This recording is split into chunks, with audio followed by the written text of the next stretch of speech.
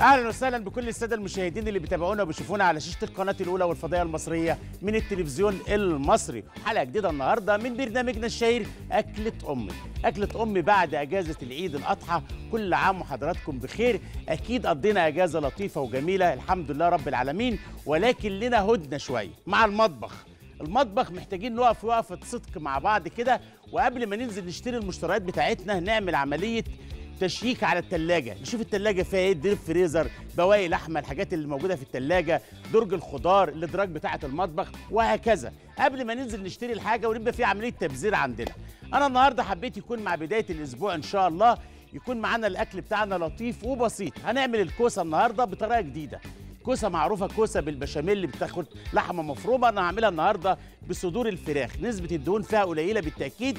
معانا الكوسه لطيفة وجميلة وهنعمل بشاميل بحليب الدسامة بتاعته قليلة. هنعمل النهارده طبق شوربة جامد جدا شوربة المشروم بالكرفس. كلنا عارفين إن الكرفس ملك الشوربة. الكرفس بيمتص الدهون اللي موجودة في الجسم. الكرفس بيعالج مشاكل الكوليسترول. فمعانا المشروم كمان بروتين نباتي لطيف وجميل وآمن. هنعملها شوربة النهارده بطريقة صحية ونشوف هنعملها إزاي. معانا بيتزا النهارده بهديها للأطفال الحلوين اللي سمعوا كلام بابي وماما وقعدوا في البيت وقضينا عيد حلو مع بعض. هنعمل لكم بيتزا بالخضار بالزيتون. هنشوف نعملها مع بعض إزاي. ولكن مش في الفرن في الطاسة. هخليكي تعمليها على عين البوتاجاز وتبقى مستوية. من ناحيتين وزي الفل.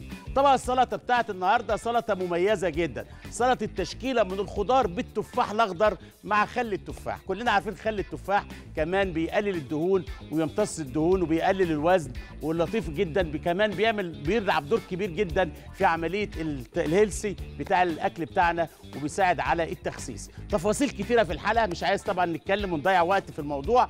خلينا نخش على العمل بتاعنا ونشوف إزاي نعمل أكل بسيط وسهل ولكن قيمته الغذائية عالية جدا وهيلسي وتعالوا مع بعض نعمل مع بعض شوربة المشروم بالكرفس مقاديرها على الشاشة. يفضل طبعا عمل البكاتا بشرايح اللحم اللي هي بتاعت الإسكالوب.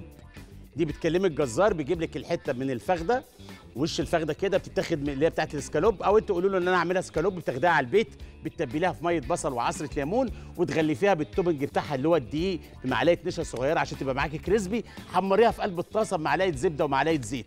مكان تحمير اللحمة اللي هي البكاتا بتحط عصير الليمون مستردة كريمة لباني هو ده صوص البكاتا عذاب المشروم معانا مشروم تحط في قلبها زي الفل. معانا مع بعض شوربة المشروم بالكريمة. شفنا المقادير بتاعتها على الشاشة على العجينة بتاعتنا. ما تاخد مرحلة التخمير في عجالة كده هنعمل شوربة المشروم بالكرفس. والكرفس ملك الشوربة يا عم الشيف. المشروم يتقطع كده وعنوان المشروم في تقطيعه. آه. لازم التقطيعة دي تقول إن ده مشروم. آه. آه. بالشكل ده كده. آه. آه. وده موجود في عندك الفكهاني وموجود عند بتاع الخضار. زي الفل. ومصدر غني جدا للبروتين النباتي. يا اكلنا لحمة في العيد. إيه المشكلة لما نقضيها مشروم؟ آه. والمشروم آمن. اللي عايز يخس اللي عايز يعمل أكل هيلسي أكل فيه رجيم أكل دايت آه. المشروم آه. مفيش منه مشكلة خالص. مريض سكر مريض ضغط على مسؤوليتي آه. المشروم بيتقطع كده. طاسة معانا.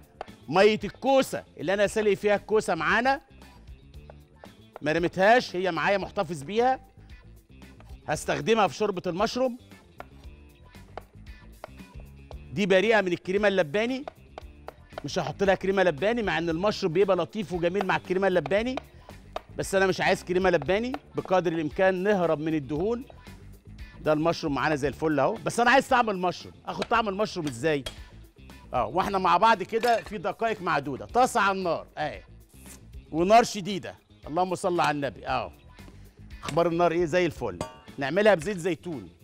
مش بزبدة ولا بسمنة. آه. شوف التركاية دي بقى. أول حاجة هعملها بحط بصلاية ناعمة.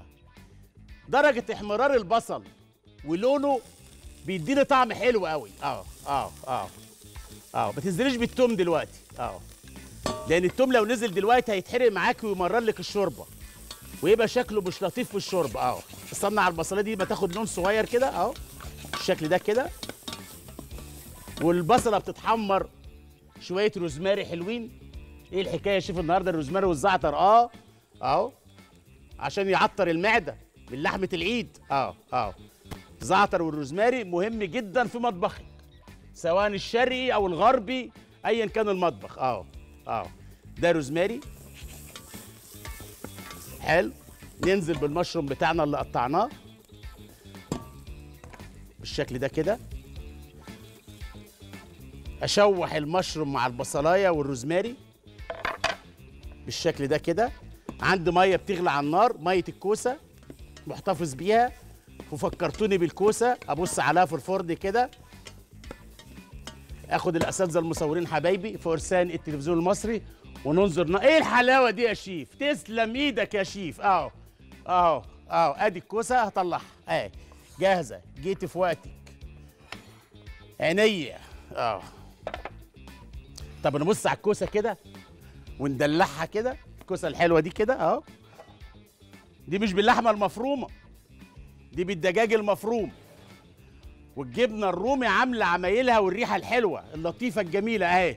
صلي على الحبيب قلبك يطيب. اللهم صل على النبي أهي. دلعها لي يا شفيق.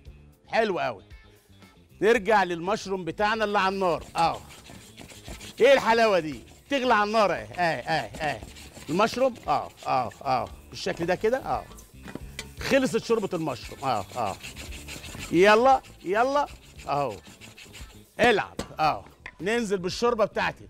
على فكرة الشوربة دي مش شوربة فراخ ولا لحمة دي شوربة الكوسة. أهي أهي أهي أهي أهي.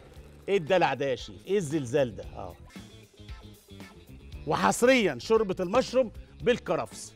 بريئه من الكريمة. هناخد بعضينا ونطلع فاصل صغير والأكل بتاعنا النهارده هيلسي بنريح المعدة بتاعتنا ونريح المطبخ بتاعنا ونريح وقفتنا من المطبخ ونعمل أكل لطيف بطريقة سهلة. ولكن الحرص في إن يكون قيمته الغذائية عالية جدا بتناسب كل أفراد الأسرة. آه تروحوا بعيد تابعوني بعد الفصل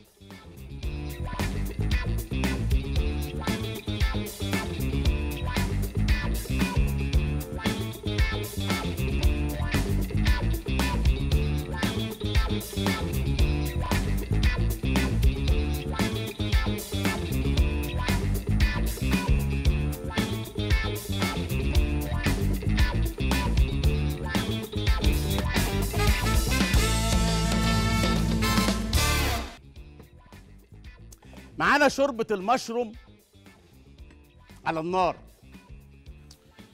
أنا مش عايز أحط لها كريمة لباني. وشكل المشروم مع الشوربة بتحس إنه ضعيف الشخصية. كريمة اللباني بتقوي من شخصيته شوية. ما ننكرش الموضوع ده. فاقوم أعمل إيه بقى؟ بشياكة باخد معلقتين من النشا صغيرين مع ربع كوب من الحليب وأدوب النشا في قلب الحليب. حلو الكلام؟ بالشكل ده كده. آه. عشان الشوربة يبقى لها قوام كده ولطيف وزي الفل. آه. بقدر الإمكان هتبقى الدسامة هنا قليلة. الشوربه خدت لون بالشكل ده كده. الله على الريحة الحلوة. البهارات بتاعتي هنا شوية ملح وشوية فلفل. الشوربة عندي جاهزة أهيت. البهارات بتاعتنا ملح وفلفل. عينيا. إحنا معانا social media بعد ما بنخلص. بنجاوب على أسئلة حضراتكم كلها. الشوربة دي عجباني قوي على فكرة. أشرب منها بطريقة آمنة. يلا نصب الشوربة مع بعض. حبايبي وإخواتي فرسان التلفزيون المصري. أهو. شوربة المشروم بالكرفس. والكرفس يتحط قبل الغرف مباشرة عشان خضاره ولونه وجماله. أهو. عيني أهو. أهو. أهو. أهو. أهو. أهو. أنا عارف إنك بتحب الحاجات ديت. أهو. إيه الحلاوة دي يا شيف؟ أهو. مشروم كرفس ريحان أخضر. شوربة صحية. ما فيهاش كريمة لباني؟ لا. آه. ما فيهاش زبدة؟ لا. حلو قوي مطبخنا النهارده بساطة سهولة مرونة في أفكار حلوة خارجين من إجازة العيد. كل عام وحضراتكم بخير ويعود علينا الأيام الحلوة بخير إن شاء الله على كل أفراد الأسرة بكل العائلة. قدرنا إن إحنا برضو نطلع بنعمل حاجة جديدة ونريح مطبخنا شوية من المحمر والمشمر والفتة والطواجن اللي شفناها في العيد. ونعمل أكل لطيف قيمته الغذائية عالية جدا بتناسب أفراد الأسرة الصغير والكبير والكبير والصغير. رؤية فن إبداع بنشوفه كل يوم على شاشة القناة الأولى والفضائية المصرية. منين يا شيف؟ من ماس بيرو.